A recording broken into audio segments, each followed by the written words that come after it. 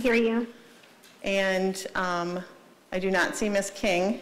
Has Ms. King phoned in?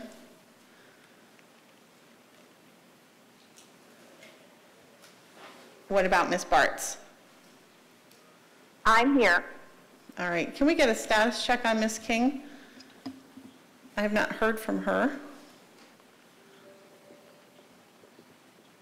I don't know who is going to do that.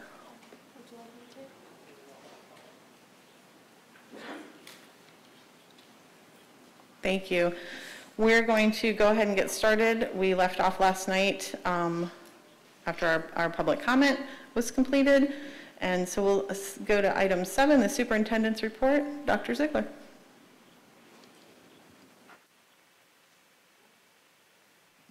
Thank you, Madam Chair. Let me just get to a point where I can present and share my screen. Thank you. It's uh, a privilege to bring back uh, the first report of the school year and share some of the good things that are happening around Loudoun County Public Schools. We'd like to offer our congratulations to John Tuck, who was named new principal of Sully Elementary School on July 12th. He attended Bridgewater College for his bachelor's degree, Shenandoah for his master's in liberal studies. He served most recently as assistant principal at Rolling Ridge Elementary. Prior to that, he came to LCPS in 2010 from Charlotte County Public Schools and Cumberland County Public Schools, where he taught third through fourth grades. Mr. Tuck was Loudoun County's 2016 Teacher of the Year, and we welcome you to this new role and offer you our congratulations, Mr. Tuck. School Board Staff Attorney, I'm pleased to announce that Robert Falcone will join LCPS as our new staff attorney. Mr. Falcone received his Juris Doctorate from University of Virginia School of Law in 2011 and his BA in Political Science from Virginia Tech, graduating summa cum laude. He most recently has served as counsel to Fairfax County Public Schools as a staff attorney. He has worked as an assistant county attorney in Fairfax and as an associate at the law firm of Blankenship and Keith. Mr. Falcone, welcome to LCPS. Um, In its eighth year, the program recognizes Loudoun community leaders. The selection committee honorees received more than two class. The honorees will be recognized at Operations Farm in Bluemont on August 20. In the Times Mirror the following day. Schaefer has been named to, currently serves as the supervisor of community. Pretty humbled to be included with the Loudoun Education Foundation. Costa Community Foundation for Loudoun nominated grant for the honor. Formerly of LEF, Clark Bowers, Director. Susan Mulla of No nomination. Congratulations. Members Safety and Security Team Virginia on July 29th to further. We'd like to offer a special thanks to our safety and providing security for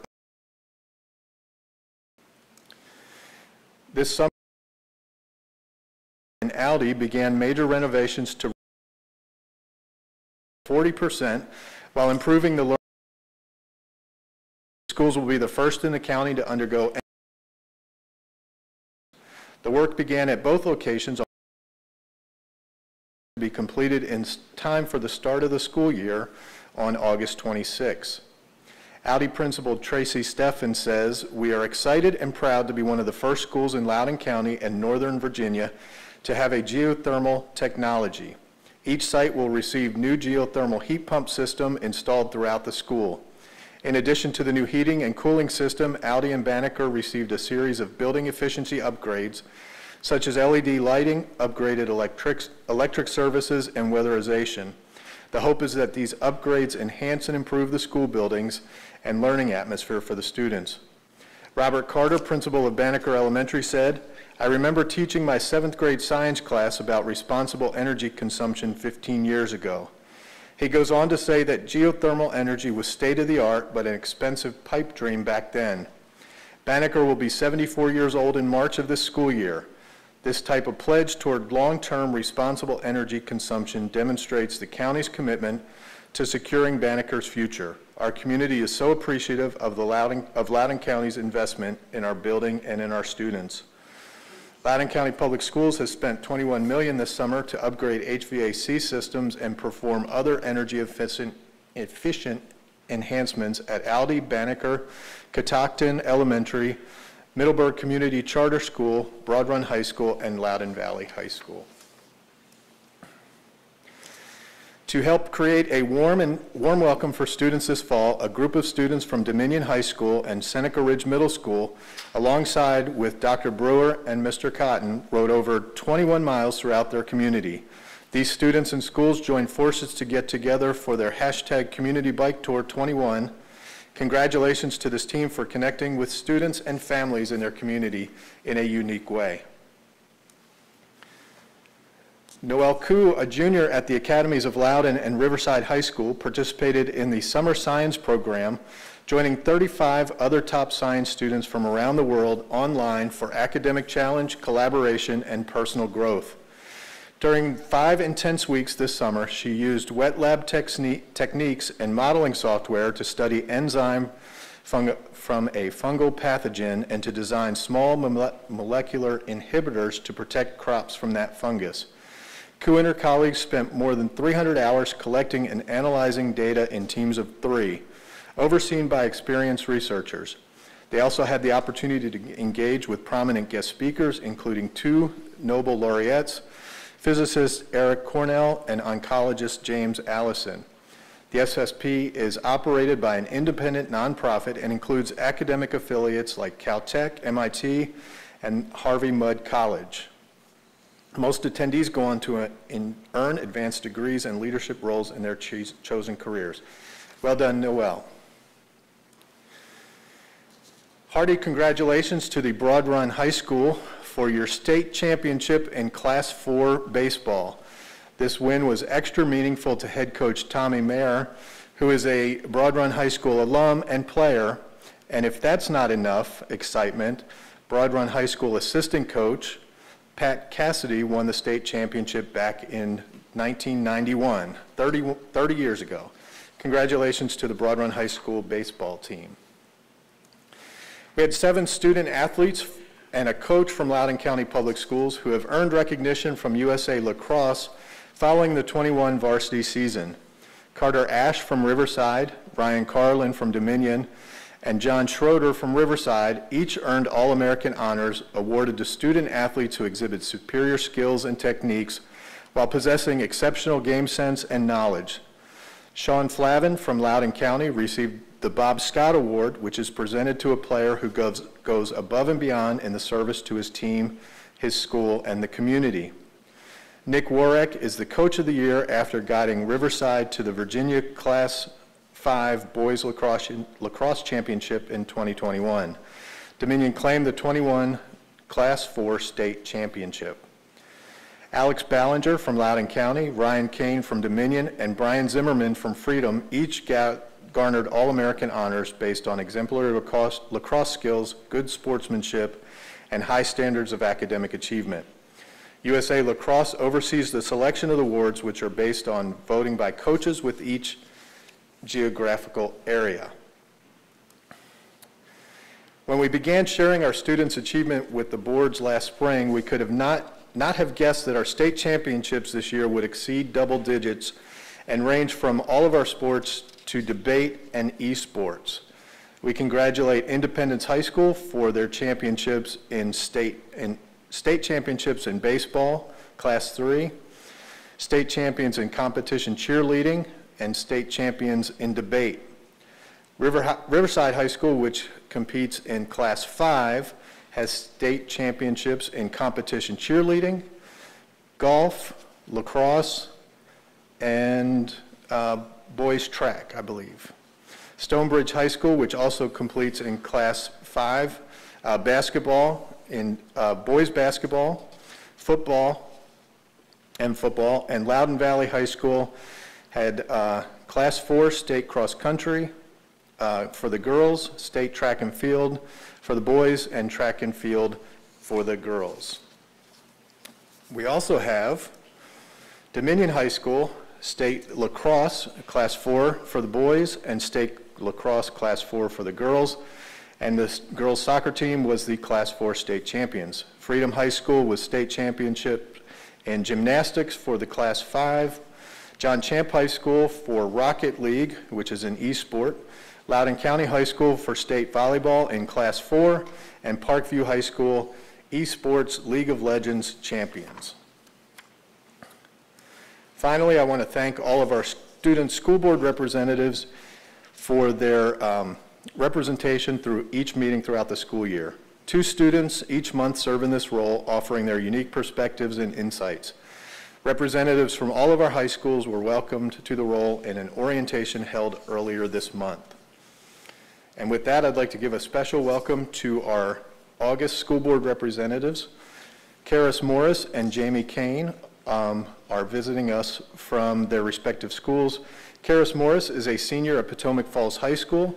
She is the SCA president and was SCA's creative director, where she was able to brainstorm and create ideas to improve Potomac Falls.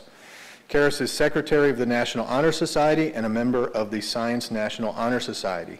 She is a leader of Potomac Falls Green Team, connecting local environmental organizations.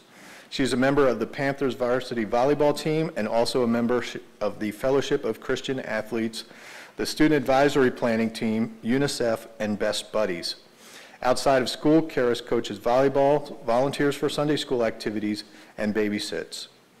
Jamie Kane is a senior at Heritage High School. She has been a member of the Student Council Association for the past two years and is now excited to be its president. Jamie is a member of the National Honor Society, the English National Honor Society, the Science National Honor Society, and she has participated in all district and all county chorus and plays on the Pride's junior vice varsity soccer team. Jamie is also part of the Key Club and the We Are, We Are All Human Club. Welcome to our school board representatives. Madam Chair, that completes my report for this month. Thank you, Dr. Ziegler. As the Sterling representative, I would like to also extend, um, I- normally I welcome new principals to the park, but as you indicated, Mr. Tuck has been in the park since he came to LCPS, first as a teacher and assistant principal at Rolling Ridge, and now the principal of Sully. And I know that the collaborative cluster of um, administrators in the Parkview cluster um, have already welcomed him, and he is oriented and already off to a great start, and I look forward to his leadership at Sully. So welcome, welcome to your leadership position, Mr. Tuck. And now, Ms. Reaser, I believe you have a comment? Thank you, Madam Chair. I wanted to take a moment to welcome Mr. Falcone as our new division counsel. I had the opportunity to sit in on the panel interview for him, and um, I can extend a warm welcome and say that we're very excited to be able to have you on board with us and help us figure out um, how to effectuate all of the different and wonderful new ideas that we have for making LCPS a better place for our staff and our students. Thank you. Board members We'll now move to item eight, our student school board representatives' comments. We'll begin this evening with Karis Morris from Potomac Falls. Karis? Good evening. Potomac Falls has been working on rebranding and renovating throughout the building. Both the main gym and auxiliary gym have had their flooring changed over the s- has also been repainted and possesses a new design in the center of the gym court. The school is changing each Panther and Potomac Falls logo on campus to be identical to one another in order to better establish an ultimate emblem that is able to best represent us as a whole. This change is significant because in the past, there were numerous variants of the Panther that stood for our school, but as we enter into this coming school year, we are able to unite and recognize the individual logo that is planted around the building. Furthermore, we are continuing with Panther, with Panther traditions in order to create a spirited, inclusive, and friendly environment for the upcoming freshman and sophomore classes. As most of the students were not able to attend hybrid or in-person learning last year, it is important for the staff and SCA to make sure that the school is creating a safe environment where the students feel comfortable and ready to learn and grow more each day. In order to do so, Potomac Falls Link Crew will lead our freshman orientation, where the incoming class of 2025 will be able to familiarize themselves with the school, staff, their fellow classmates, and upperclassmen who are willing to help with any needs or questions. Our SCA and various staff members are also holding an event titled the Sophomore Stroll, where the class of 24, which contains a majority of students who have not ever entered the school, are able to come in to also learn to navigate the building, be introduced to their teachers, and ask any questions they may have. We will also continue with our traditions of the tailgates before home football games, in which clubs and various school organizations are able to have booths with fun games, activities, and other events in front of the school before the game. The tailgate assists in bringing the community together to ensure that we are all connected and that everyone feels a part of something greater. We hope to host many more events throughout the school year in order to help keep school spirit high. Potomac Falls is also continuing into our third year of teaching the AP Capstone program. This is a two-year program that very few Loudoun County schools currently have available in their course selections. The course is broken up into two years, as previously stated, AP Seminar, the first year class, and AP Research, the second and final class. Having personally completed both years of the AP Capstone course, I can say with experience that this program is an amazing way to, to prepare for the rigorous and independence required for college-level learning. These classes allow students to explore how to better their writing, research, and critical thinking skills. Students who enroll in this program are able to write numerous papers using various writing strategies throughout the AP seminar year, along with an oral presentation project. Through our AP research, the students are able to construct a single focused research paper and oral presentation throughout the year.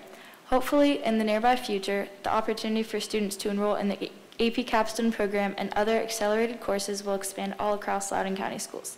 Thank you. Thank you very much. We're happy to have you here and participate in our meeting as you wish. We'll now go to Jamie Kane from Heritage High School. Thank you and good evening. Like many schools, Heritage has worked has worked to find ways to keep our activities going through the past year, even through the pandemic. Athletes were able to play and some of our teams reached the state level, including field hockey, which made it to the state tournament for the fourth year in a row. Heritage Theater produced two great virtual shows. Our choirs and bands performed, and SCA provided lots of school spirit activities. Heritage has been working on creating the best atmosphere possible for the return of our students this upcoming year. And one major upgrade is the major renovation of our library and main office. I'm so excited to go back and see these changes. I'm so excited to be able to build authentic relationships with my teachers again, as well as my peers. I can't wait for our football games and to finally be able to cheer in the stands instead of commenting great job at the end of a live stream. I'm excited for the little things like walking in class with my friends, waving to my favorite teachers in the halls, and eating lunch with more than just my dogs. I can't wait to see what our school's new normal looks like, and I'm truly looking forward to going back to school this year.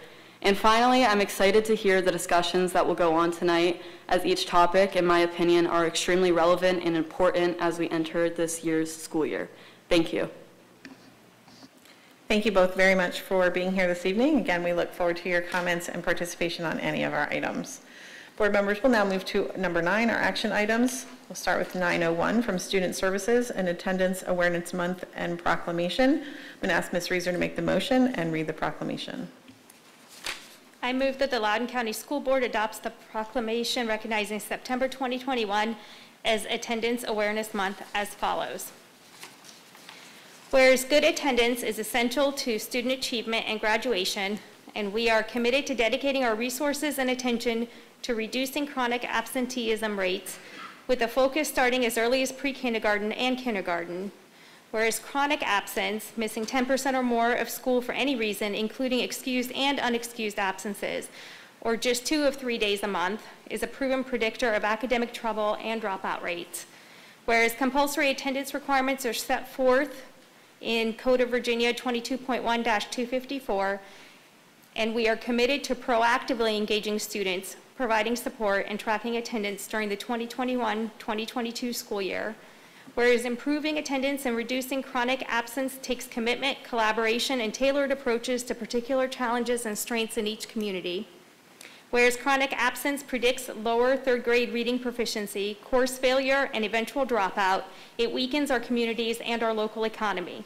Whereas attendance gaps among groups of students often turn into opportunity gaps that undermine student success, chronic absence particularly exacerbates the differences in achievement that separates students in low-income communities from their peers, since students from low-income communities are both more likely to be chronically absent and more likely to be affected academically by missing school.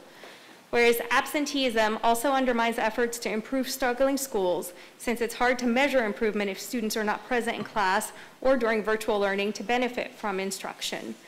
Whereas schools and community partners can reach out more frequently to absent students to determine what barriers they face to attending school and what would help them attend more regularly. Whereas healthcare providers can share the importance of school attendance with families and can offer proactive, preventative care to reduce absences whereas chronic absence can be significantly reduced when school, families, and communities work together to monitor and promote good attendance and address hurdles that keep children from accessing learning. Now therefore be it resolved that the Loudoun County School Board proclaim our school division will stand with the nation in recognizing September as Attendance Awareness Month. We hereby commit to reducing chronic absenteeism to give all children an equitable opportunity to learn, grow, and thrive academically, emotionally, and socially. Is there a second? Seconded by Mr. Mahedavi. Is there any discussion? Ms. Kane, we'll start with you. Thank you. I think it's amazing that Loudoun County could produce an attendance rate as high as 97.35%, even in the midst of a worldwide pandemic. Attending school is obviously the first key step to a successful education, and I believe that Loudoun County did an excellent job at accommodating and adjusting to such different times this past year. I believe that having September recognized as, as Attendance Awareness Month will help further promote the idea that attendance and participation are key components to a successful education, as well as motivate students to continue to attend school. Any other discussion? All right, seeing none, all in favor of the motion to adopt the Attendance Awareness Month proclamation, please raise your hand and say aye. Aye. And then, Ms. Corbo, I'm going to ask you to record your vote, Yes. and Ms. Barts. Yes. That motion will carry 8-0 with Ms. King absent for the vote. Board members will now move to 902 from Student Services, Suicide Prevention Awareness Month. Ms. Reaser, would you please make the motion and read the proclamation? I move that the Loudoun County School Board adopts the proclamation recognizing September 2021 as Suicide Awareness, Prevention Awareness Month as follows. Whereas youth suicide is a major public health concern, whereas across the county and in Virginia, suicide was the second leading cause of death among adolescents between the ages of 10 and 18, whereas in Loudoun County, our community has been impacted by teen suicide, whereas youth suicide warning signs include talking about or making plans for suicide, expressing hopelessness about the future, displaying severe, overwhelming emotional pain or distress, showing worrisome behavioral cues or marked changes in behavior that include significant withdrawal from or changing in social connections and situations, changes in sleep, increased or decreased, anger or hostility that seems out of character or out of context, or recent increased agitation or irritability.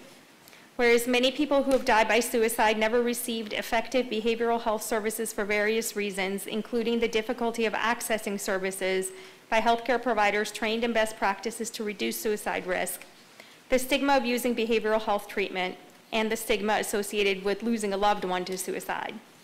And whereas LCPS supports and implements comprehensive suicide prevention and partners with others in our community to raise awareness, provide education and resources, and connect individuals to effective treatment. Whereas the superintendent has directed staff to create a task force to support the mental health and wellness of LCPS students with the goals that include providing mental health resources and directing services to students experiencing trauma, anxiety, and loss as a result of COVID-19, to support mental health needs to successfully navigate the transition from distance to in-person learning, and to steer the creation of a comprehensive plan to expand school-based behavioral health programs and services to facilitate social emotional development and removing barriers to learning. Whereas the Loudoun County Public Schools unceasingly addresses youth suicide prevention through services provided by the unified mental health teams in each elementary, middle, and high school to support our youth and refer students who need behavioral health treatment. The implementation of evidence-based suicide prevention programs such as the SOS Signs of Suicide Prevention Program, so students and staff learn the signs of depression and suicide and respond in ways to keep students safe. Efforts to develop resiliency, protective factors, and other social emotional competencies in our youth through upstream prevention programs such as sources of strength, positive experiences in educational relationships, and social emotional learning. Ongoing professional learning for teachers to identify and effectively respond to at-risk students. Training for school mental health professionals to conduct evidence-based suicide screenings and make appropriate community-based referrals partnerships with professional organizations, community agencies, and universities such as A Place to Be, the Ryan Bartel Foundation, Prevention Alliance of Loudoun, Suicide Prevention Alliance of Northern Virginia, Loudoun County Department of Mental Health, Substance Abuse and Developmental Services, and George Mason University, and strategies to engage parents as partners in effective prevention through the sharing of resources and providing education through the Mental Health and Wellness Parent Seminar Series. Whereas we believe that one suicide is one too many and that many of these deaths are preventable, now therefore be it resolved that the Loudoun County School Board designate September 2021 as Suicide Prevention Awareness Month in Loudoun County and promote greater awareness and effective suicide prevention strategies to address this serious public health problem. Is there a second? Second. Seconded by Mr. Serotkin. Is there any discussion? Ms. Kane? Recognizing September as Suicide Prevention Awareness Month in our schools, I believe will be very beneficial to the student body. There unfortunately will always be people that suffer in silence, and having an entire month dedicated to suicide awareness, providing mental health outlets, and most importantly, prevention, will be huge for so many young students. I believe it will make them feel more comforted and cared about in their school, and give them that recognition and confirmation that their struggles do not go unnoticed and that they are not alone. Thank you. Is there any further discussion? Ms. Morris? Uh, I agree with Jamie. I believe that dedicating a month to such a prominent issue is very important.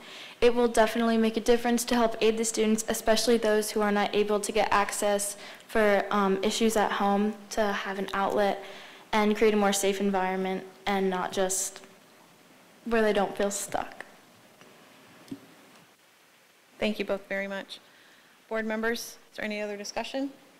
All right. All those in favor of the proclamation of Suicide Prevention Awareness Month, please raise your hand and say aye. Aye. Thank you, Ms. Corbo. Ms. Barts? Yeah. Is that your vote? Yeah. Okay, Ms. Corbo, I have your Yes. yes. Ms. Barts, can I hear your vote, please? Yes. Thank you. That motion will carry 8-0 with King absent for the vote. We'll now move to item 903 from Support Services, Abbreviated Secondary School Attendance Zone Change Process. Mr. Serotkin, would you like to make the motion? Sure, thank you, Madam Chair. I move that the Loudoun County School Board immediately assigns LCPS Planning Zone DS08, which includes the Heartland and Lenah Circle East communities, to the Mercer Middle School, John Champe High School attendance zone. The attendance zone changes will take effect in fall 2021 with the start of the 2021-2022 academic year. Serotkin, can you clarify that, unless I misheard you, I- that is not what is in the motion in Board Docs includes DS 08.4? Is, did you say It is not what's that? in board docs, it's an alternative motion. It's an alternative motion, thank you. Is it listed in Board Docs at all? It is not. All right. Is there a second? Second? Was that Ms. Corbo? Yeah. All right. So, Mr. Serotkin, would you like to speak to your motion? Yes, thank you, Madam Chair. So as I mentioned during our June 22nd meeting, um, I felt I could support the staff's, staff recommendation, or the planning services recommendation to rezone DSO 8 for uh, the Champe and Mercer cluster. But given that DS 08.4 is so proximate to the Brambleton and, and Independence cluster that it's, it's literally adjacent to it, I felt it was, uh, would not be advised to move that, given that it will mo- almost certainly move back to the Brambleton cluster when we consider the MS-14 rezoning. So I was planning on making this as a substitute motion, but since you called on me to make the motion, I just made it as the, the prime motion.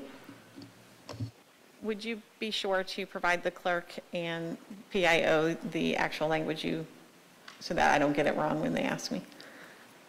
Thank you. Is there any further discussion on the motion? Mr. Morse? Thank you, Madam Chair. So, Mr. Serotkin, looking at the numbers that were on the uh, staff recommended plan, the one that was uh, put, it currently shows the enrollment school at 109% in 20, uh, Independence High School at 108%. What is the impact of your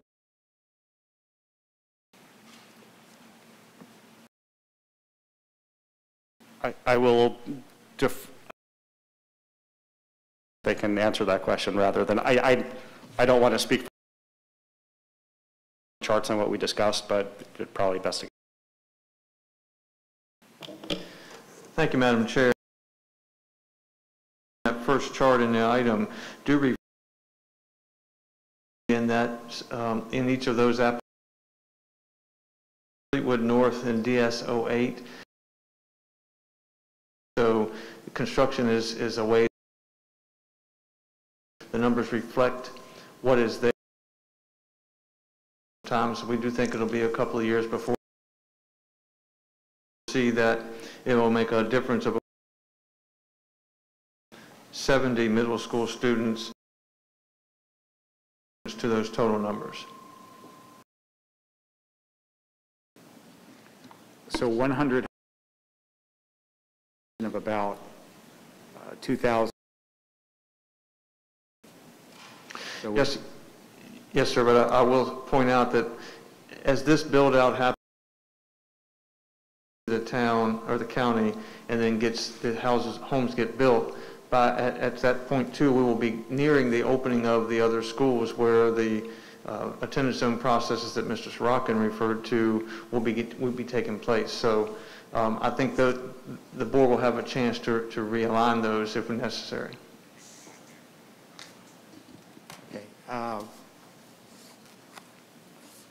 I would have preferred to see the numbers uh, for Mr. Serotkin's plan, but because this, uh, uh, the impact on, on Mercer and John Champe appear to be manageable, uh, I will, I will support the motion. Thank you. Mr. Lewis, I just want to get clarity for everyone that staff does not have, a- see an issue with this um, as Mr. Serotkin has moved. That's correct, thank you. Thank you. Is there any further discussion? Hello, Ms. King, thank you, for- we're happy to see you. Did you have, um, did you want to speak to this item? No, thank you. Just letting me know you're I just wanted to here? know I'm here. I appreciate And appreciate I it. apologize for being late. It was on a board. We're happy to have you here, thank you. All right, is there any further discussion on the motion? Ms. Barts, I don't want to leave you out. I'm good. Thank you. All right, board members, all in favor of the motion that I can't quite repeat because I don't have it in front of me, that Mr. Serotkin just made um, regarding the abbreviated secondary school attendance zone change process, please raise your hand and say aye. Aye. Ms. King, can you? Aye. And Ms. Barts? Aye. Thank you, that will carry 9-0.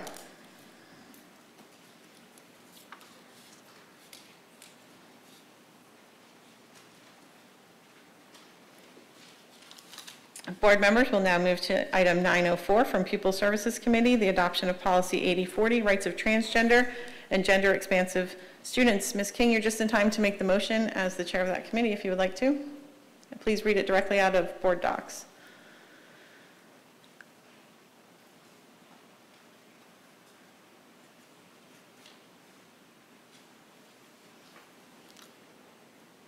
I'm still getting up. So, Ms. Morris, would you read it, please?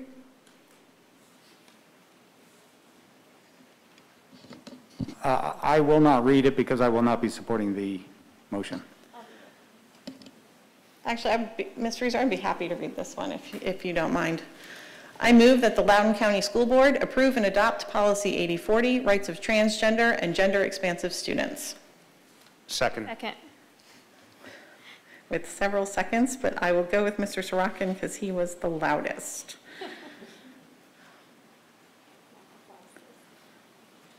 That's-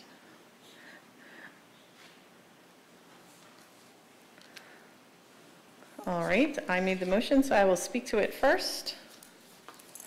And I am going to support this policy. I think it is long overdue, and I'm great, very grateful and do want to point out that we have Senator Jennifer Boysko, who was the sponsor of this bill, and we have Juli Briskman, who is a Board of Supervisors and in Loudoun County, representing the Algonkian District here as well, here to support this policy. And I'm actually going to make a motion to amend.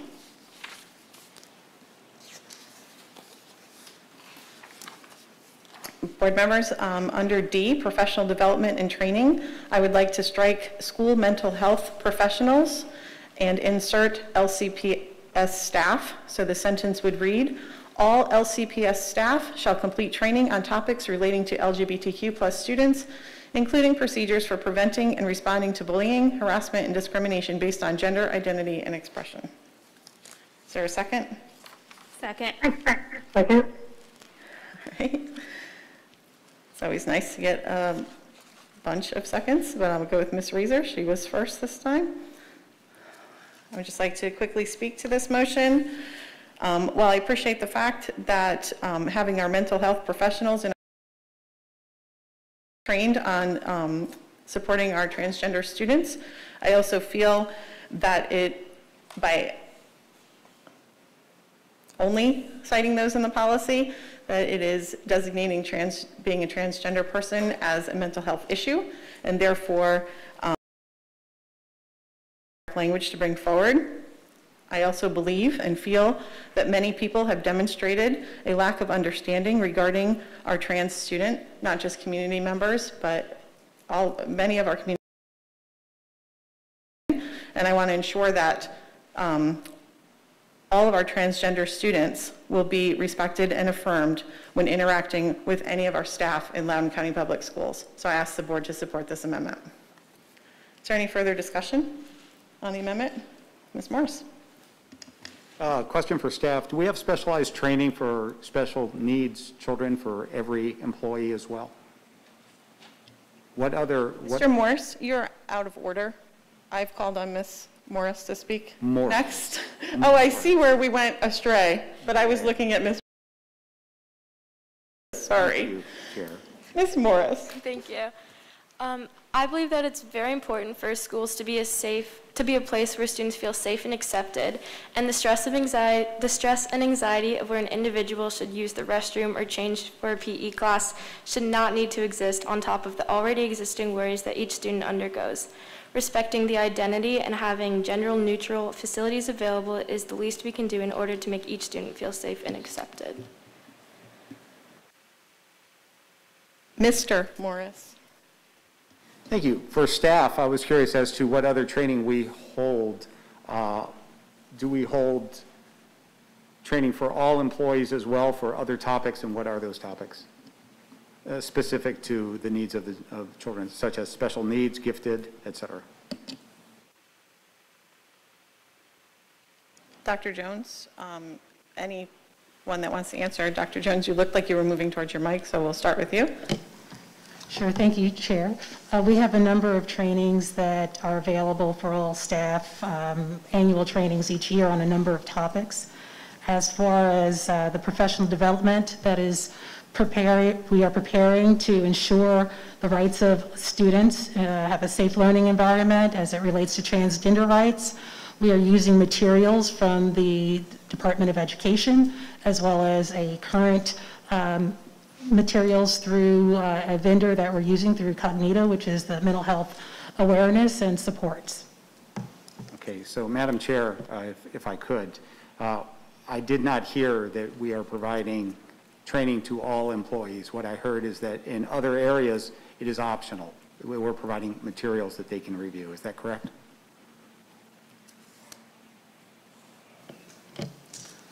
I believe the question was, what professional learning do we provide for staff? And annually, uh, there is professional learning that is across a number of areas for all LCPS employees. As I understand, uh, what's the motion for this particular policy is that it will be available for all staff, and staff will be able to meet that expectation.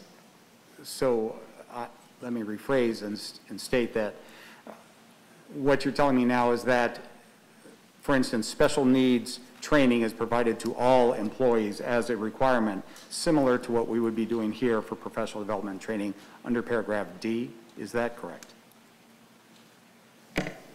Madam Chair, I- Dr. Ellis? Thank I you. do have an example. Um, Yes, there are specific trainings that are required of all staff members.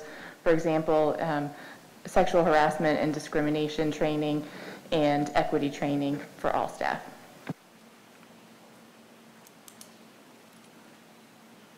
Go to Ms. Kane next, and then Ms. Reaser. Thank you. When I saw on today's I- agenda, We have two kings. oh, All right. I Ms. will- King, I said Ms. Kane, and I will try to speak more clearly and use first names. So I'll get to you after Ms. Reaser. Okay, Ms. King? Thank you. Go ahead, Ms. Kane. Thank you. When I saw on today's agenda that the rights of our transgender and gender expansive students were being discussed, I was thrilled. I was thrilled because of how relevant and important it is to focus on the lives and the treatment of our transgender and gender expansive students.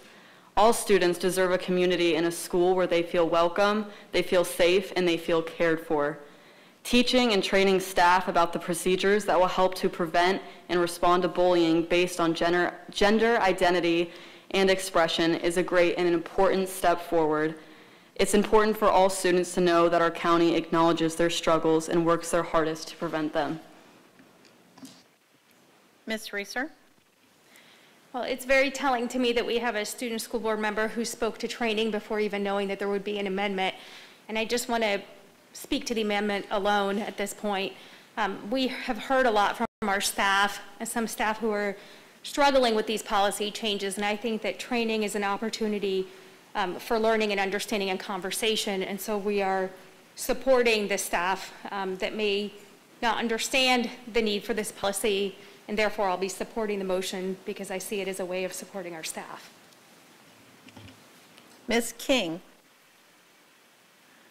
Well, Mrs. Reaser, Ms. Reaser said pretty much what I was going to say. I believe that, um, that the training is needed so that they understand what this policy is trying to do. And, uh, if they do by accident call somebody by an opposite pronoun, it's a mistake. It's not intentional. We're looking at intentional, and that's not nice. So I'll support the motion. Is there any further discussion on the amendment? Mr. Mahedavi? Thank you, Madam Chair. So, so Dr. Ellis, so Dr. Jones, is that, so would this be, I guess, this is one of the questions I asked um, in, in the committee meeting, because I, I too was concerned that the training was just focused on mental health and sort of not being available to, to all staff, um, to how to address it. So is this going to be included as part of equity training, Dr. Ellis, or is that going to be a separate training that staff has to take? This would be separate training. So do, again, I, I go back to, wouldn't this be part of a comprehensive training that we, I'm sure that we should be already educating our staff in dealing with all students from different cultures, including the LGBTQ. Don't we already have policies or don't we already have training that addresses these students? Uh, make sure that they are, uh, there is an understanding about these students already in place today? Yes, and I don't want to speak for Dr. Jones, but I will say that there is equity training already planned and in place. And I believe Dr. Jones and her team also have training regarding this policy planned and in place. In the future, those, thi- those things could be combined. Um, But right now, they would be two distinct examples of something that would be required of all staff members. So so can I ask, like, what, why would we have two different trainings to address the same thing? Shouldn't this be part of the comprehensive awareness education of our staff in general?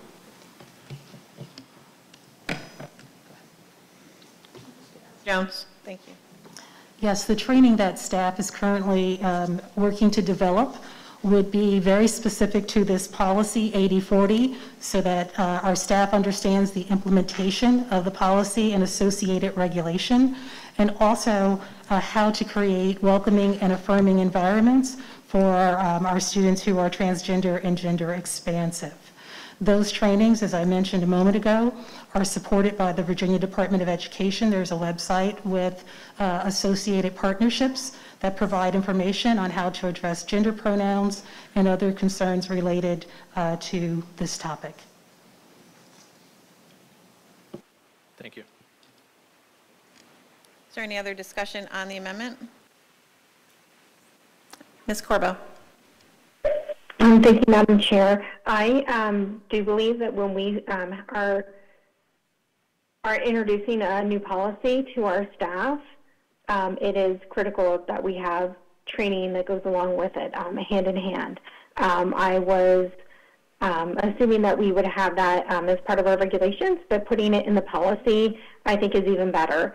So I think it's um, critical that staff knows how to um, un- understands the reasoning behind it, but also understands um, how to support all of their students and also to enforce this policy um, to the best of their ability. I know that staff has, um, a, a lot of staff members have questions about um, specifically about how they are to enforce this and, um, and support it as well.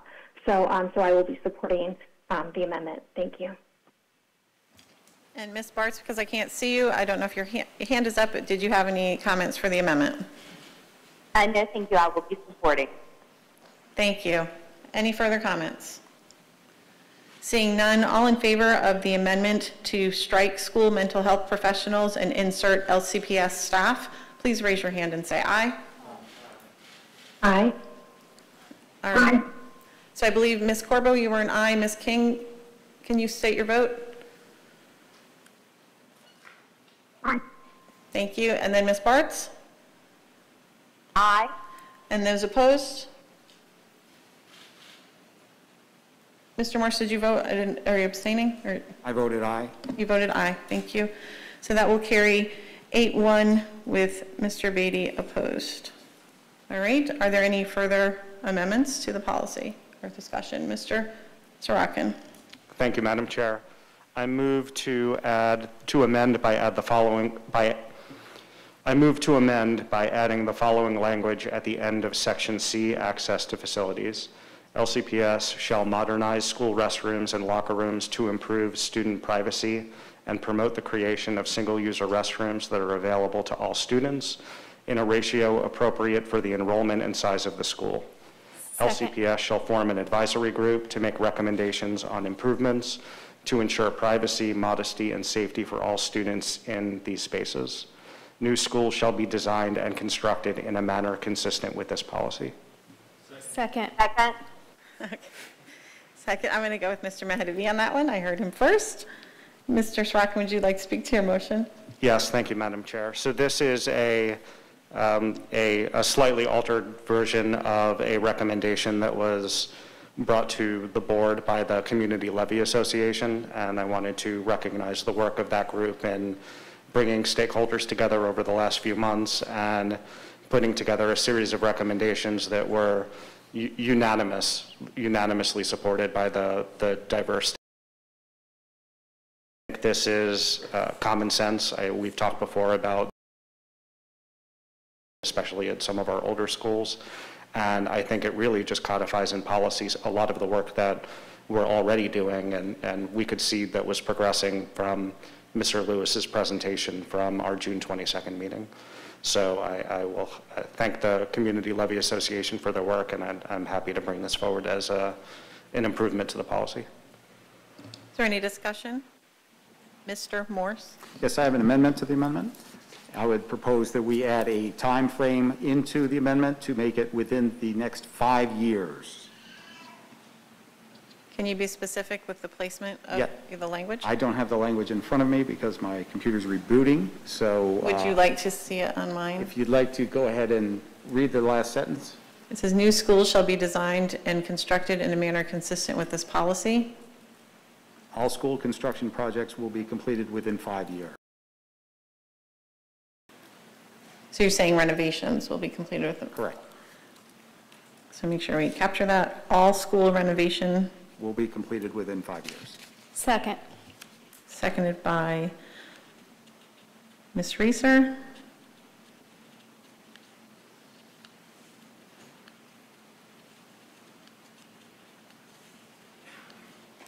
Care to speak to your amendment? Yeah, Just briefly, uh, should the, should the policy pass, I think it's important to stakeholders, all stakeholders, that we're able to provide uh, the levels of privacy that, that the students can expect uh, throughout their years so that they can focus on education. Thank you.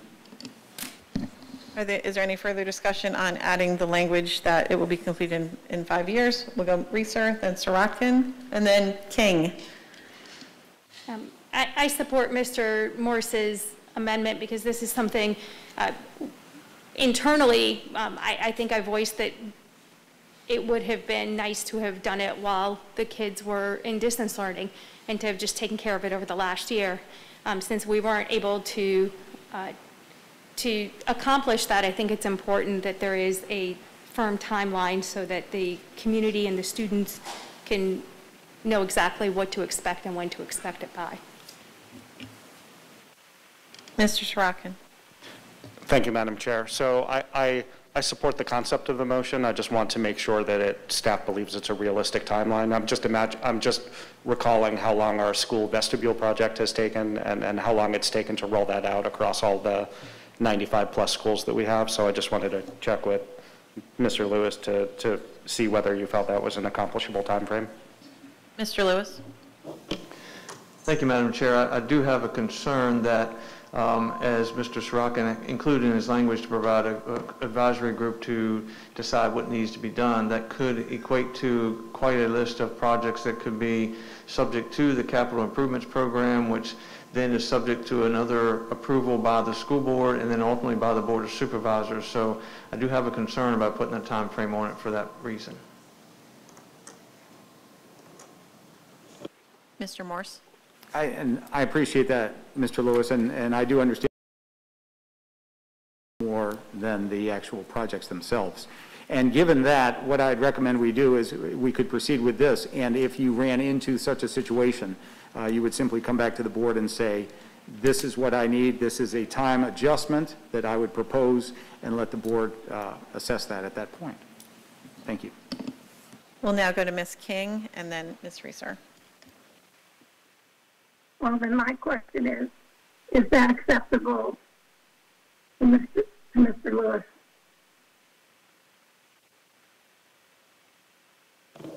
Mr. Lewis? So certainly that's up, up to the board. Um, From, from our perspective, um, you know, it it would be easier not to have it in policy to have to change, but we can certainly come back to the board and, and work on the policy language. And I think we'll have that discussion as we go through the CIP uh, work sessions this fall, and then, and maybe even in the next year, depending on how long it takes. But we will have that recommendation from the principal advisory group uh, fairly soon, I would think. Uh, We, we do recommend, and what we're, phase one of the work that we're doing right now, I think Dr. Ziegler is going to speak to that a little bit about where we are with this fall, but we also want to make sure that we take time for the principals to experience in the, in their schools how the, the first phase goes before we might be able to make a recommendation for the long-term plan. So it, it may be a while before we'll have a, a concrete plan to recommend to the board. Thank you. So, I know there's a lot involved, and my feeling is it should not be in the policy to put a time on it. I believe that that is something that we can be updated on part of operations. It's not part of policy. I believe the amendment that Mr. Serotkin made is fine, but I don't believe there should be a time limit, so I won't be supporting the amendment to the amendment. Ms. Reaser is next, and then Mr. Mahedavi. So uh, I, I think this might be a question for you, Mr. Lewis. Is there, um, is there anything that prevents us from giving a timeline to the advisor group by which they have to make decisions or to which they have to adhere? Uh, Certainly not. I mean, that's, you know, providing them guidance may, may help that group, and I think they've been very, very, very very helpful. We've had a number of meetings so far, and, and the, um, the experiences they have have been very helpful for us to provide the first phase of the plan, so I think uh, that would be something we could certainly give to them and, and help that conversation along. S- So I'm thinking that this will be an advisory group that is going to be formed under the amendment from Mr. Serotkin, I- uh, since it says shall be formed. Um, So I'm not sure if we're talking about the same group of people, but I would just propose that if we have a five-year timeline, that the advisory group be- just be given a timeline by which they have to make decisions. And they are making decisions to advise, not to implement. So ultimately, the timeline remains the, in, in the custody of the school division. Is that correct?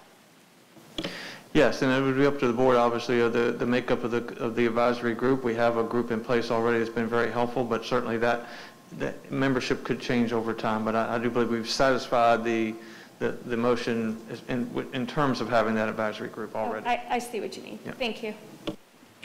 Mr. Mahedavi? Thank you, Madam Chair. Yeah, I think put, putting a time frame, I, I think to start with, I think would be really helpful. We're already behind. Um, I mean, again, by many regards, I'll come back to speaking on my thoughts about the policy and which I plan to support tonight. But overall, I think we do need to have a plan, and we owe it to our Loudoun County residents to be ahead of it, not always catching up on things. So I'll be supporting the, uh, I'll be supporting Mr. Moore's motion to make sure that at least we start off with a timeline, and then we have a plan of actions when we, when we plan to complete this. Thank you. Any further discussion on Mr. Morse's amendment? Ms. Corbo?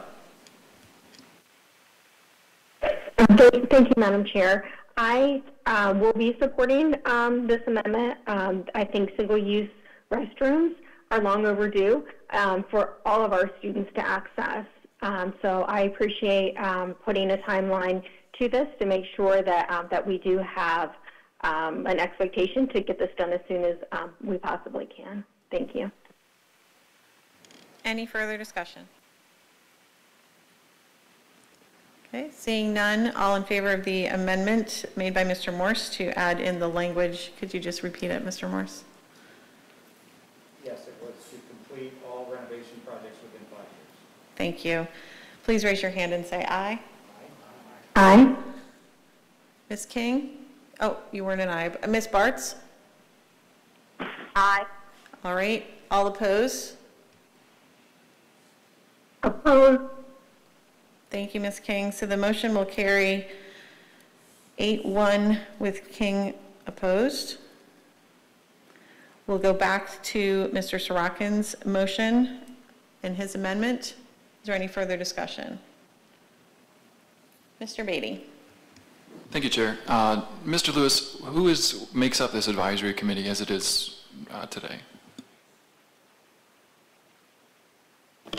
So I do not have the list of folks in, with me right now, but we have the level directors at each of the middle school, elementary school, and high school, as well as a, a number of principals, and I think there were as many as 10 or 12 principals on that list in part of the group. Thank you. Any further discussion? Seeing none, board members, all in favor of Mr. Serotkin's motion as amended by Mr. Morse's motion, please raise your hand and say aye. All those in favor? Aye. Ms. Barts? Aye. That motion will carry 9-0. Thank you, board members. Is there any further discussion on the policy as amended? Mr. Beatty? Thank you, Chair. Uh, So uh, the motion that Mr. Serotkin provided came from the Community Levy Association. I had the opportunity to be part of one of those groups, and I think it was a wonderful opportunity to try and build trust in the community. I think, uh, given that we passed from those amendments, I think it's uh, possible that more uh, opportunities could come for people to come together, find trust, and uh, perhaps find more uh, common ground on this. And given the fact that other school districts have already decided not to pass a transgender policy at this time, you know, we wouldn't be alone in- not implementing something immediately. And I remember from the Pupil Services Committee, we had this discussion that we thought that it was very important that we pass this immediately because we had legal obligations. But, you know, given what we know all throughout Virginia, I don't think we're under that sort of timeline that we thought maybe we had in June. And so that, I'd like to make a motion that we move this back to the Pupil Service C- Committee to give it more time to, for people to come with their concerns so that we can find something that's beneficial for everyone in Loudoun County. Second. Mr. Beatty, can you clarify that's a motion to refer back to pupil services? Yes, that's correct. And Mr. Morse has seconded it. Did you care to speak further to your motion? Uh, no, thank you, Chair. Any further discussion? Mr. Morse? Yes, uh, after reviewing the tapes from the last meeting, what I discovered was two of the committee members had questions that had gone unanswered, and that the committee actually never voted on this, never provided uh, their approval to to forward this issue to the full board, that it was moved forward based on a, on the time criticality. And now that we know the time criticality is no longer a factor, it would make sense for the committee members to be able to receive the information that they needed originally from other stakeholders such as the LEA uh, before it comes to the full board for, for further discussion. And I would also like to point out that uh, while many stakeholders were involved in uh, the Equity Committee and the uh, uh, other committees, there was a missing voice from the community. We did not have a, a, a community representation in all those discussions. We heard a lot, a lot of voices yesterday that were not expressed in the committee, did not have that voice. So I would encourage uh, others to, should we be able to send it back to committee, that everyone who has a stake in this decision should be able to provide some feedback. I too appreciate the effort that the uh, Community Levy Association has made. I think that's a model for how the school board should be addressing this concept. We have uh, two sides that can come together with mutual, uh, mutually beneficial decision, uh, such as the motion that uh, Mr. Serotkin just made, and I think there's more to it than just that one. And I would like to have the opportunity for the community to be involved in that. Thank you. I would like to now ask, um, I have two questions. The first one is for Dr. Jones, the second one is for Dr. Smith. Dr. Jones, can you please review for the public and for the record the process that this um, model policy went through with V- V- the Virginia Department of Education? And then Dr. Smith, I'm going to ask you to review our own policy review process that is available um, over the last couple of months. So Dr. Jones, if you could just give the timeline and the av- availability of public input at the state level, and then um, Dr. Smith at the local level. Thank you both. Thank you, Ms. Sheridan, and I might ask um, legal counsel, Ms. Haney, to assist me with the timelines. However, I will remind the board that we spoke about this model policy when we were developing back in January of, uh, I believe, uh, 20, 2020, the policy uh, regarding um, um, equal access and 1040, policy 1040. This particular policy was brought to the Pupil Services Committee uh, in May of this last school year, and also to the School Board's Equity Committee in June. Uh, It also returned to the Pupil Services Committee for a second reading in June as well. The, using the LCPS policy public feedback forum, the policy, draft policy was posted as early as um, mid-June, 10 day, excuse me, mid-May, 10 days prior to the first Pupil Services Committee review for public comment, and it has remained open for public comment on the uh, website up until um, last week. Ms. Haney, did you want to review the process that went through the Virginia Department of Education and input there? Not, not unless you have a question about that specifically, Chair, but I, I could provide some clarification regarding what the legal requirements are. I just wanted the public to understand that this policy has been under review for over a year, and that it started at the state level with tremendous input from across the state, and I'll- maybe I'll do it for you. And then, um, and that there was a task force um, established at the state level. If you could just give a little perspective on that, I would appreciate it. Yes, so, so this was adopted in the 2020 session of the General Assembly. Uh, It was, it was um, actually signed by the governor um, in March of 2020, and then went to the Virginia Department of Education for the development of the model policies. And then uh, the, the last thing that I will add is that if you look in the code, you won't see a deadline, but if you look at the actual acts of assembly and the enactment clause, uh, includes a requirement that every school board adopt the policies required by the code uh, no later than the beginning of the 2021-2022 school year. Thank you for clarifying that. Dr. J- Dr. Smith, did you have anything to add to the local input availability? Yes, ma'am. Thank you, Chair. Uh, As you know, we, we have undergone an extensive review process internally that we put in place this year. Um, The teams put together a draft. They review the Virginia School Board Association as well as VDOE input. Our policies are reviewed by Division Counsel and also by our cabinet, our executive leadership.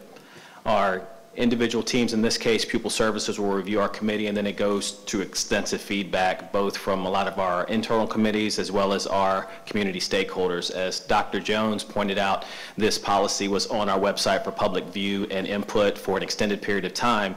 And once we, even if we put a deadline on our policies for review, people can still comment on any policy that they wish, and what we did, we funneled that feedback directly to Dr. Jones and our team, and they incorporated that feedback for, uh, for the Pupil Services Committee to review. So this was probably the policy that got the most feedback and had the longest public uh, comment period before it went to uh, that Pupil Services Committee, and then it came here to the full board. So I would offer that um, the community had ample time to provide feedback as well as internal and external stakeholders.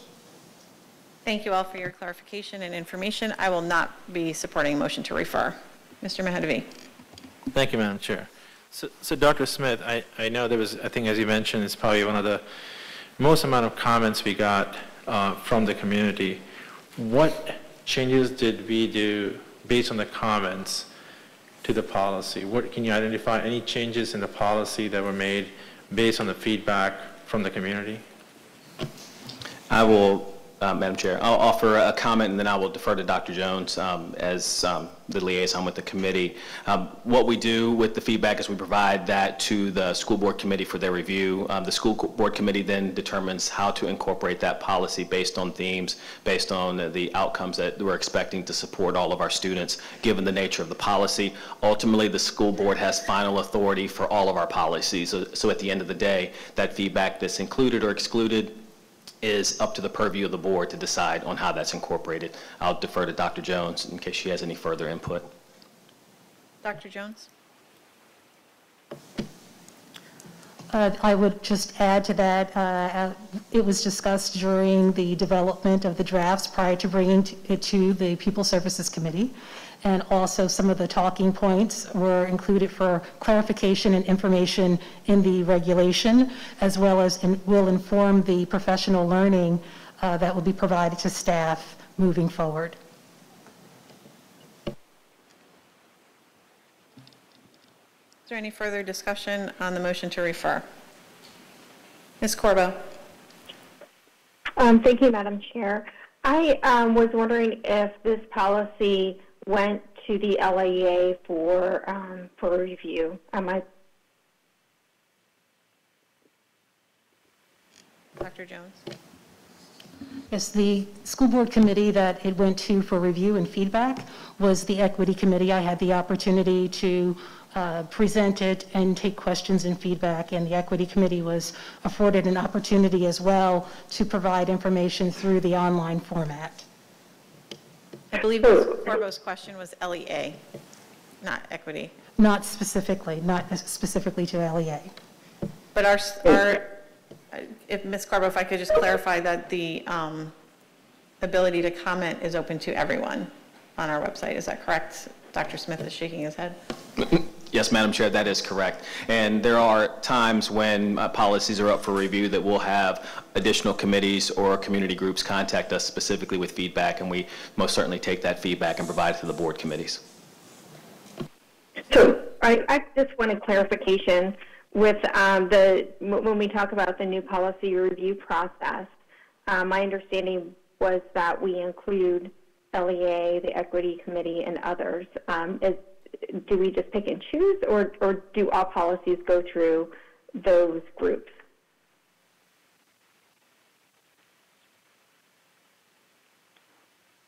Dr. Smith, did you have an answer? Thank you, Madam Chair. A a lot of times, the committee themselves, the board committee, will determine specifically which uh, committees will, they'll respect feedback from, um, or ask for feedback from. Uh, Oftentimes, it'll be specific to the actual policy. So in this case, with the student policy, we make sure, we look at the equity committee. Um, They are a broad committee to provide feedback. We make sure that we get um, community feedback um, in general. And so in this case, that was the primary committee to give feedback. And as um, we indicated, the community had extensive opportunities to provide feedback via the website. Um, okay, thank you. And, and, and part of my question is just to, to clarify that if we're talking about this new policy review process, to make sure that all groups are included, but um, but you said that the committee that that it's decided which groups it, these policies will go through. So if, for example, if I was interested um, in a committee um, during a committee policy review, um, would it be up to the board members to request um, these different groups for that process for, for the policy to go through um, during the process?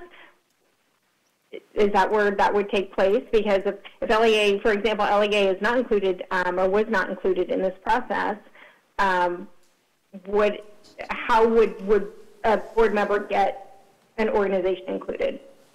Madam Chair, if I could respond to that. Thank you, Dr. Ziegler. So um, it's important to keep in mind that the Equity Committee, MSAC, and SEAC are advisory committees to the school board. And so they are sometimes given preferential treatment in their role as advisory committee to the school board. The LEA, while an important organization and certainly their opinion is valued and valuable to LCPS, is an outside organization that is not given preferential treatment. So for the normal feedback, um, just like in your board packets tonight, there's some, I'm guessing 50 pages or so of um, feedback provided through that public input process, and there are multiple groups that are represented uh, throughout that feedback. And so for us as administration to try to find every group that may have an interest in a policy would be, um, would not be expedient and would not, not lend itself to a, a process because we would ultimately leave somebody out. So for outside organizations, that public comment process is open. And as Dr. Smith um, and Dr. Jones have already pointed out, the process for this particular policy was open uh, longer than any of the other feedback policies for proposed policies that are under consideration by the board. Thank you, Dr. Ziegler. Ms. Reaser. Oh, sorry, Ms. Corbo. I didn't get my question answered. Go ahead, Ms. Corbo. I didn't realize you weren't finished. Go ahead. Um, okay, Thank you. Now, I, I just wanted to know, um, you know, with, with HRTD policies, we do include the LEA. With this one, they weren't included. And if, if a board member wanted to specifically ask a group to be included and, um, and to get feedback, would that be done in committee? Um, and would that be requested by a school board member? Madam Chair. Um, Mrs. Corbo, uh, school board members are um, permitted and welcome to solicit feedback from any group that they want, and that could be as an individual school board member or as a committee. So if um, a board committee wanted to solicit feedback from a particular group, they're certainly um, within their realm of power to do that. It is also certainly within the purview of an individual school board member to seek feedback from different groups. Thank you. Ms. Reaser. Well, first, I just wanted to thank you again, Dr. Smith, for, and the rest of cabinet and staff for um, employing the new comment policy that we've had online for some months now. And uh, I'm grateful to my colleague for asking the question about how that information is used.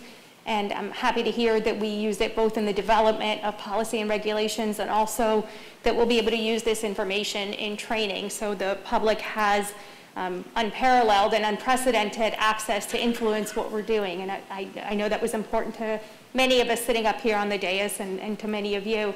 Um, and I just wanted to remind everyone that I believe we heard from the president of the LEA during public comment on this policy last night. Thank you. Mr. Morse. Thank you, Madam Chair.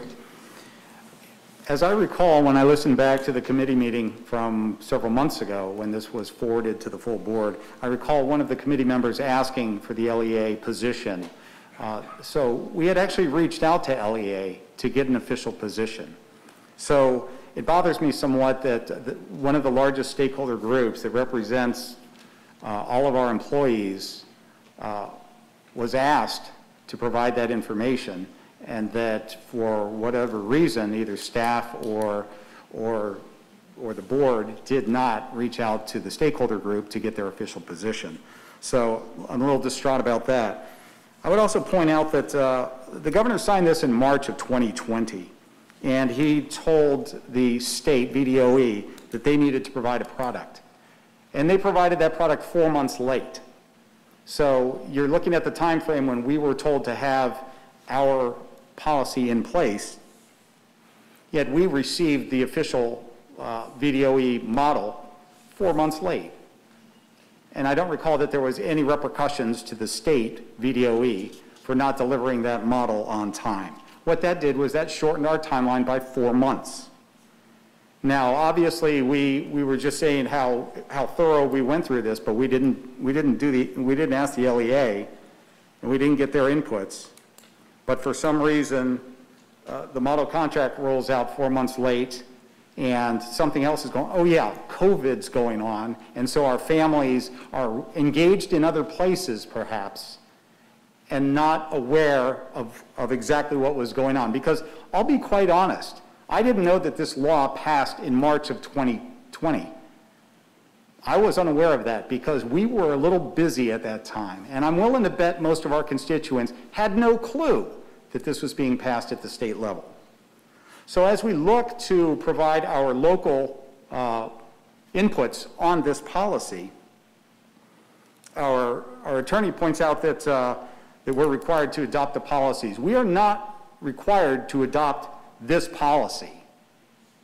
We have in place policy 1040, policy 8210, 7560, 8250, 8610, and 8640, which cover the content of the requirement that's being levied upon us within this, this new policy.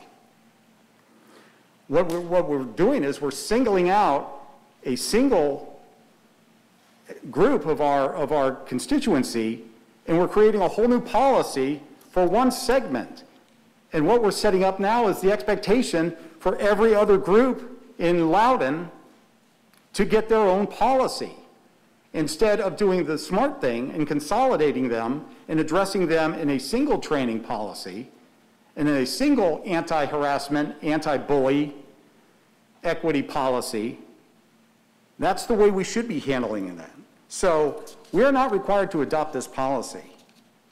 Many people across the state have already rejected this. And I'm not saying reject it out of hand. I'm saying that we could take it back to committee. But I, I won't support the way it's written today. Thank you. Is there any further comment?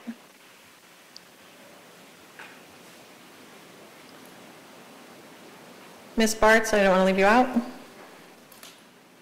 No comment. All right, the, the vote is on the motion to refer back to committee. Please raise your hand and say aye if you're in favor. Aye. All those opposed, please raise your hand and say nay. Nay. Nay. nay. Ms. Barts, can you tell me your vote? And Nay. please, Board members, can you keep your hands up so, for nay? That'll be six nays, two yays. That motion will fail, and Mr. Mahedavi, you're an abstention. Is that correct? All right, those opposed were Serotkin, Reaser, Sheridan, King, Corbo, Barts, and Mahedavi abstained.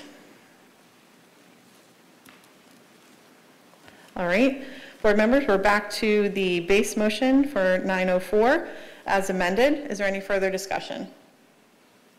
Mr. Serotkin, then Mr. Mahedavi. Thank you, Madam Chair. Enacting a policy consistent with the VDOE model policy is the law required under Section 22.1-23.3 of the Code of Virginia. And while sending it back to committee might result in some minor changes, given the fact that it's very prescriptive what we have to comply with, I have a hard time believing that sending it back to committee would have resulted in a substantially different policy coming back before us today because it's the same VDOE policy, model policy that we have to comply with. Additionally, in the past, just in the past few months, we've seen court decisions from across the country affirming transgender rights in the Gavin Grimm case and in others, stating in no uncertain terms that equal protection under the law means exactly that.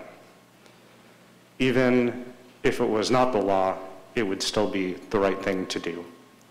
The American Psychological Association, the American Academy of Pediatrics have issued policy statements emphasizing the importance to the health and well-being of transgender youth to affirm their gender identity, to use their preferred pronouns. And they've warned of the dire effects that not doing so has on those children's mental and physical health. Even the president of the International Genetics Foundation, Dr. Philip Batterham, has taken to occasionally weighing in on social media to correct erroneous oversimplifications about sex, gender, chromosomes, and genetics as it relates to gen- transgenderism. We are by no means the first school district in the country to enact policies like this. We're not the 10th, we're not even the 50th. There are millions of students across the country living and going to school in school districts with these protections or those like them already in place. And the fears of nefarious activity happening in bathrooms at any sort of scale due to policies that project, protect tran- transgender students is simply not what occurs in reality. But I, I cannot say it any better than Judge Floyd did when he ruled on the Gavin Grimm case. The proudest moments have been when we affirm the burgeoning values of our bright youth rather than preserve the prejudices of the past.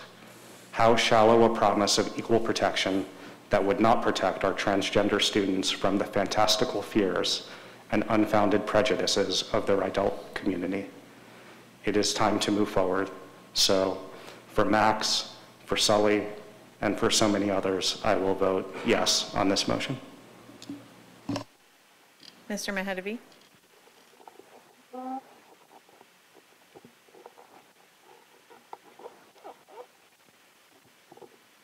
Thank you, Madam Chair. You know, today, today we, in, in the county, again, we are back here divided on this very topic that's concerning the kids. It's not about adults, it's about the children. Yet, you know, we saw the comments that we've been seeing over the period of months that really has divided, divided our county, which shouldn't be. Again, we're dealing with the kids here. As elected school board member, you know, I'm not here to define what the students' gender are. I'm here to make sure that all students provide, they get a safe space to learn. That include all students, eh, religious students, non-religious students, black, brown, white, and LGBTQ kids. For that, again, I'll be continuing to support the policies that support our kids. Having said that, I think as Mrs. Serotkin pointed out, the current policy that, the, at least the premise, everything that we've gone through, it's a Virginia law. At least that, the, the model policy, how it came through, and what's been recommended that we adopt It's not something we as a school board are making up.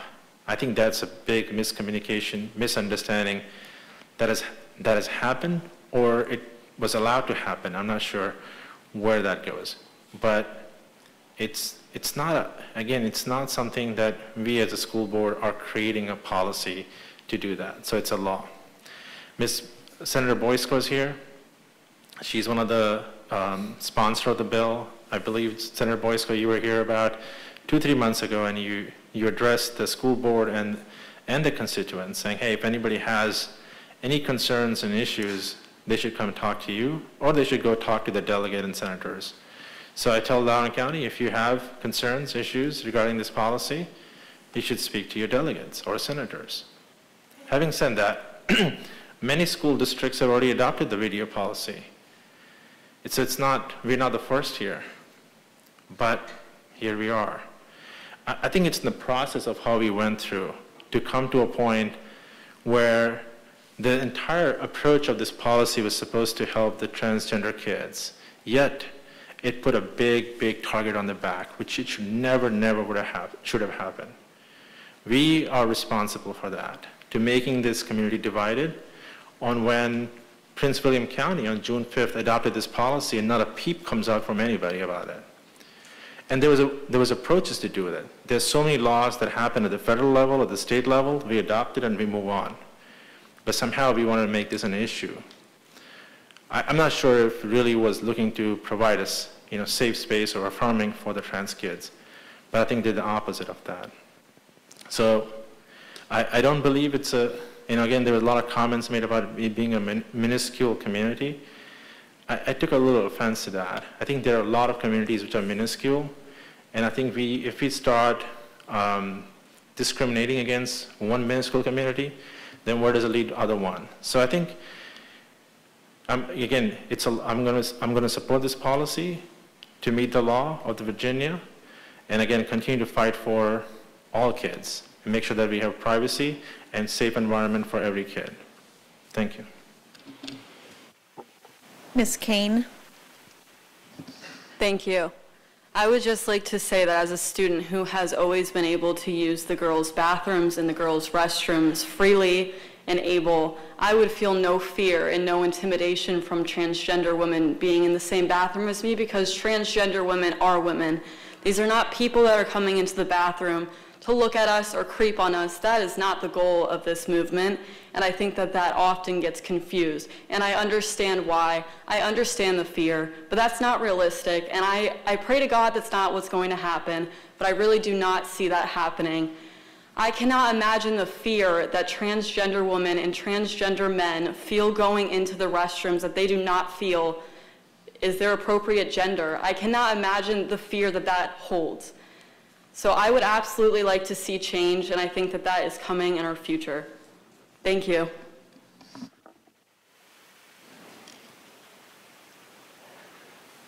It is always the students that leave me speechless. Is there any further discussion? Mr. Beatty?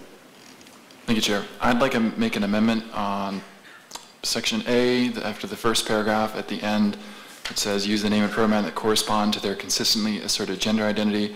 And I would like to add at the end, uh, "to the maximum extent permitted by law."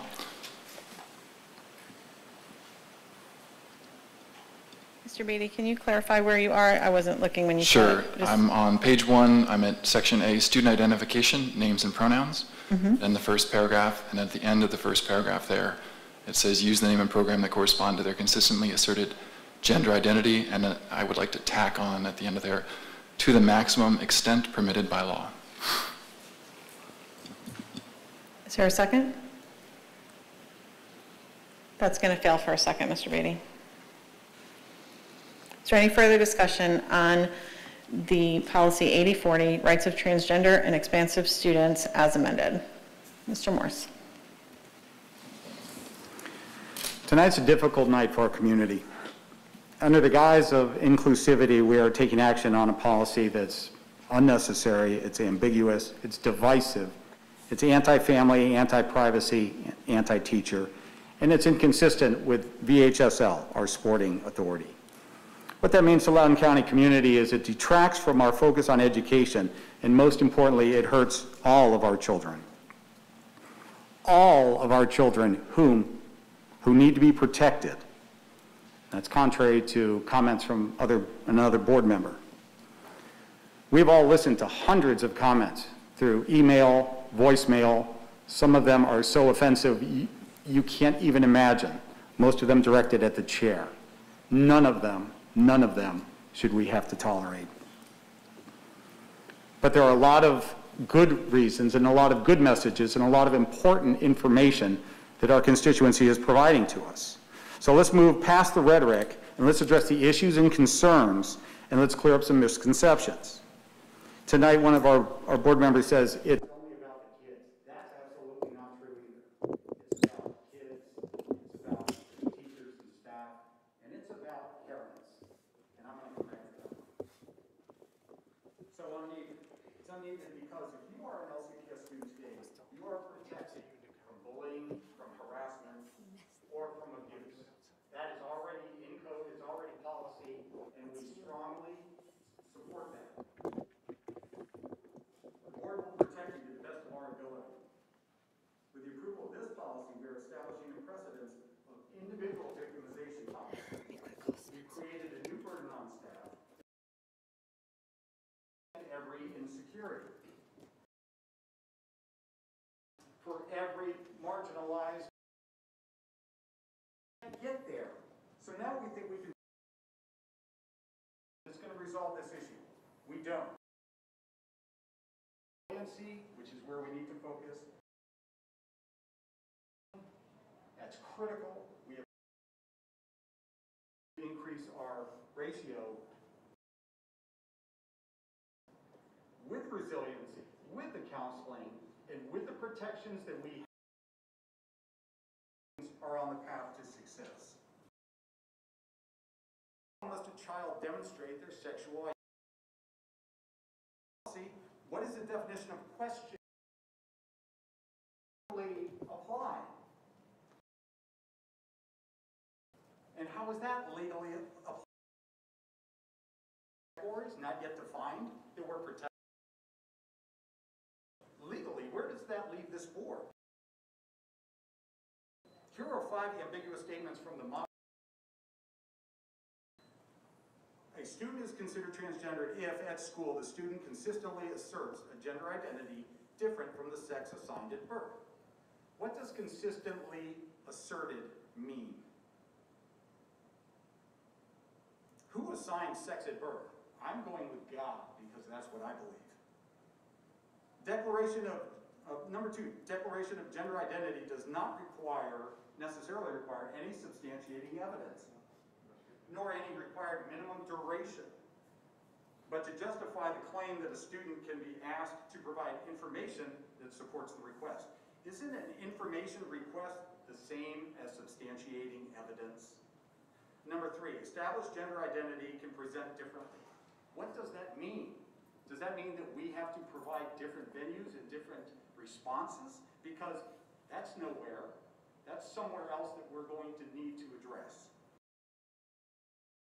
And transgendered students use multiple sets of pronouns under different situations, different moods. Are we legislating this? And I'm not being facetious. I'm genu genuinely interested in trying to figure out how we're going to navigate through this. Number five, in the situation where when parents and guardians of minor student under the age of 18 do not agree with the student's request to adopt a, uh, a new name and pronouns, school divisions will need to determine whether to respect the student's request or abide by the parent's wishes or an alternate that respects both the parent and the student. At least the model policy included parents. But based on LCPS's policy and based on staff's comments at the last board meeting, parents don't need to be notified. So taken to an extreme, you have a seven-year-old that can make a decision that'll have has the authority to keep the parents in the dark. The rights of a few hundred students will they, they're all together.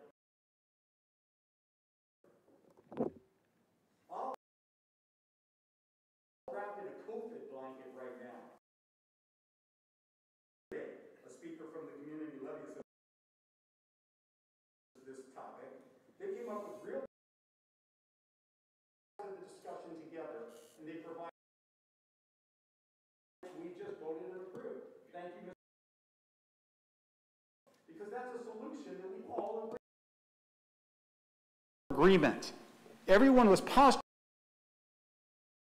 unwilling to negotiate. Attacks parents with a comment about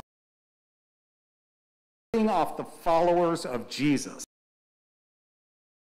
Facebook group starts a hit list asking for information on spouses, on children of their neighbors. And when school board members have the courage to stand here on the day of members that were flagged attacks and condemn the community this is three months. Anti-family what does to make? What about a parent teacher may not support the child. Based on staff's interaction with the parent but more likely from the single point of mature student with a partially can anyone name one other parent of an issue concerning their child? Approval is needed for Tylenol we are failing the family they do anti-private Student Alliance Club, and they told me they wanted to be safe. I heard everything I can to keep them safe. School to get to a bathroom. And I will work to that. Showers or forcing kids into school board proclamations. As the chair of the finance committee three years ago single occupancy fact uh, unfortunately the board's priorities much faster than our school facility. And now without time to implement changes with open locker rooms dressing areas forcing this upon our most vulnerable students when they are embarrassed to the changes that are anti-teacher who uses multiple sets of programs 50 years of reinforcement on the fly. How many mistakes are they? Probably depends on how much they've embraced. Do they protect a child from a different gender because they cannot ask. At a parent teachers conference, knowing they are responsible, big secret. VHSL set limits on both the transition which biological males can play compatible with the intent of uh, a of VHSL from the law is clear an embarrassing omission by our didn't want to address the sports issue. A legal challenge ensues, yet we are pushing ahead full. The stories we heard from transgender speakers last night were horrifying. From the law is clearly legally indefensible. An embarrassing omission by our legislative friends in Richmond who didn't want to address the sports issue. It is only a matter of time before a legal challenge ensues, yet we are pushing ahead full. The stories we heard from transgender speakers last night were horrifying. Stories of bullying and harassment. They're stinging indictments of a school division from years past. Compared to comparing that to today's classroom and today's workforce is like comparing technology of 1980 to today's technology. Our teachers, administrators, and counselors to identify issues and provide but this board is losing teachers like that I want to teach my children children whether they are transgender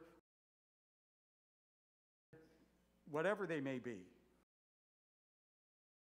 Monsters who pick on at-risk kids to love their students. They are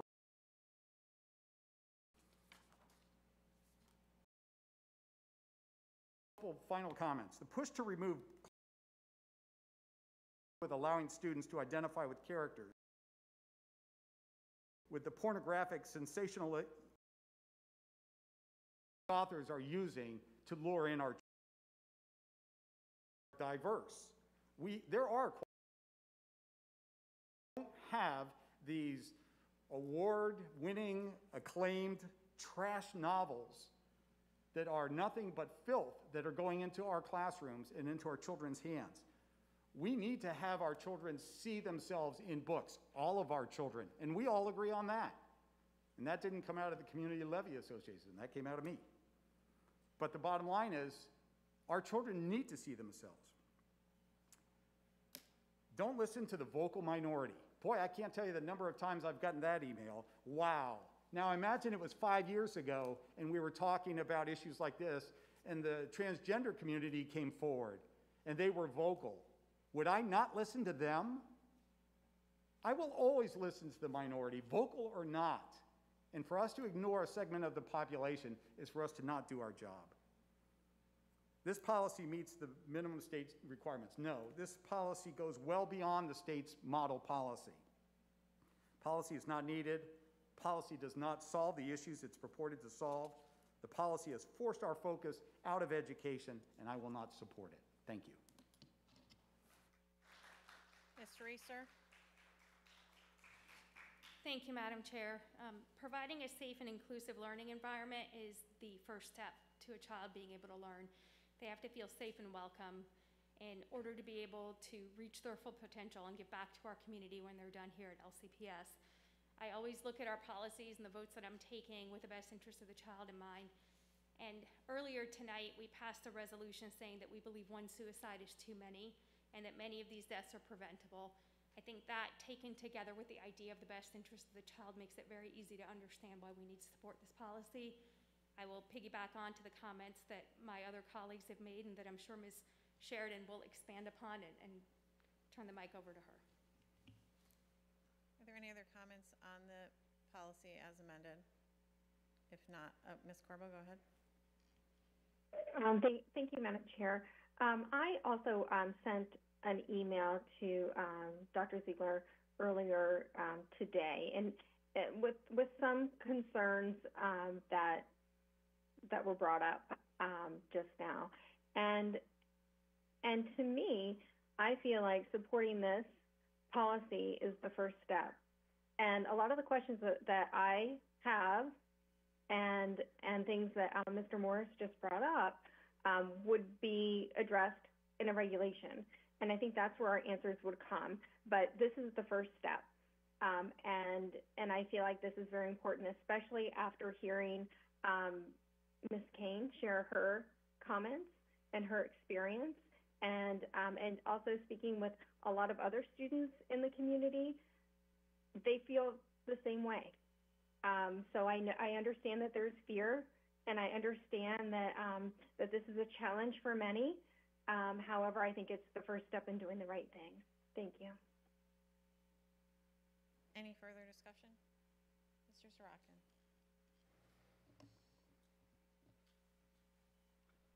I just want to very briefly respond to, to, to, I can't respond to everything. It was quite a long speech, but to respond to at least two of the points that I heard Mr. Morse make. You, asked if there were any other major decisions students make in school that the parents might not be notified. And you, you know that there are. We had the same discussion from the dais not more than six months ago, I think. I used the example of and talked with staff about a student that comes out at school or other member of their uniform system at school and plan for notifying the parents immediately based on the student's be safe to do it at all. We hope that it is. Try and put a plan together. I don't, I don't know how you could, there are no other decisions where of, of choices that the student in the last year. And second, I really hope that this, this was not your, in- you seem to imply that discrimination against LGBTQ thing of the past and doesn't happen today. If you believe that, I would encourage you to, to in transgender students because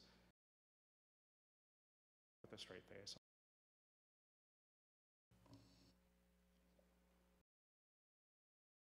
Remind board members to, um, Thank you, Mr. Serotkin. I, I would respond that have any uh, transgender children are suffering. The Thing is that we are doing all that to address those issues. What I'm saying, that behavior, we can to stop that behavior and change behavior overnight. I said when we were at the uh, at the dedication, our generation has a lot to learn from. We have a lot of built uh, biases, and in some that is built up from families, and that continues, and that continues. I think that what you're seeing is the vast majority of to support all of our children. Marginalized. That's what the chance. We want to all move forward. Dead in our tracks to up in front of everybody else that may be another. We're trying to all move forward to decisiveness and one organization over. So yes, community and to prevent, and we will fully support you or staff member That'll happen. The day has come for, for to provide that. Comments, and I did not that there are no uh,